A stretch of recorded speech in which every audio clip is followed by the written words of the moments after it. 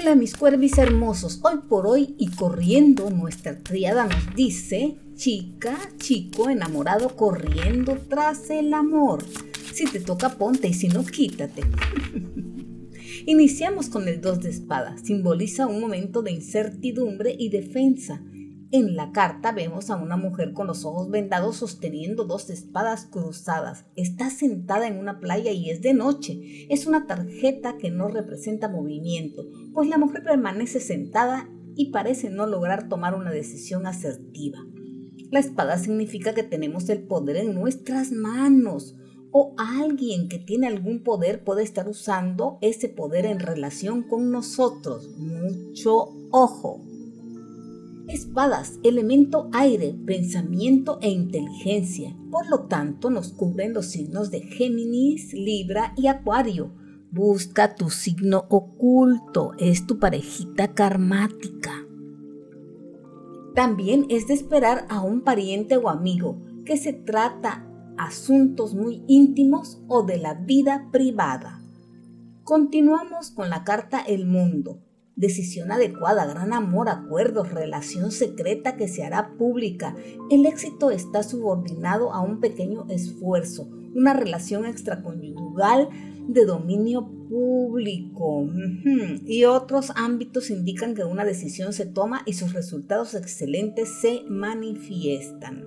La carta del mundo afirma que sí, esa relación será seguramente exitosa realización en el amor a todos los niveles. Se toma una decisión y se manifiestan los resultados que son excelentes o exitosos. En el ámbito amor nos dice que hay una relación secreta que se hará pública, decisiones adecuadas y acuerdos.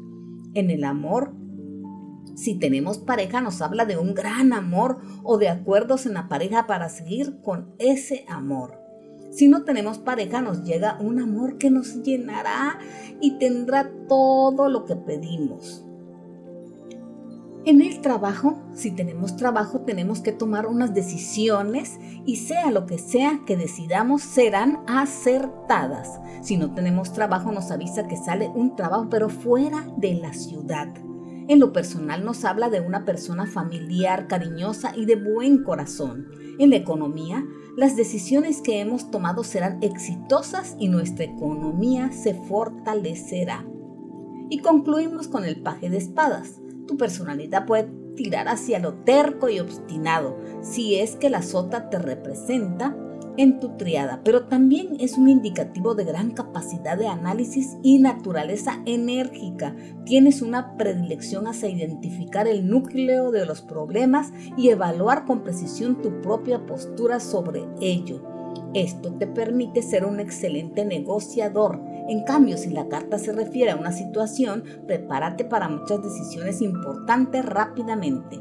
Confía en tu razón y juicio para superar todas las dificultades.